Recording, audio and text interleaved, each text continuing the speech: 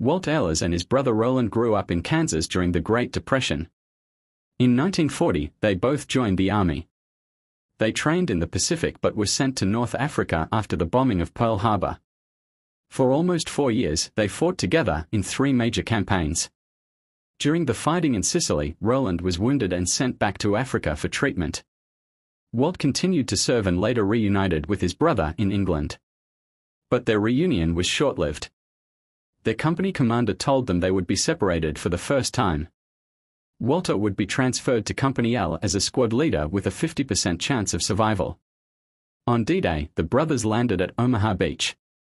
Walt's craft hit a sandbar and they had to wade through deep water. A few hundred yards away, Roland's company also landed. They had to focus on their own responsibilities and didn't have time to worry about each other. Walt led his squad off the beach, facing enemy fire and attacking the high ground. After a six-hour battle, they finally broke through. Walt's courage saved his platoon and earned him the Bronze Star Medal.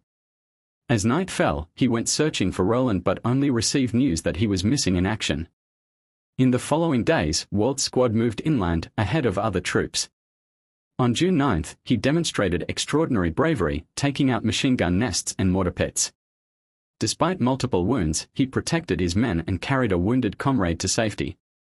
Walt's determination and leadership earned him the Medal of Honor. He returned home for celebrations but couldn't forget his men spending Christmas in the field. With permission, he went back to finish the war. Walt Ehlers exemplifies the bravery and sacrifice of countless soldiers. His story reminds us that ordinary individuals can become heroes in extraordinary circumstances.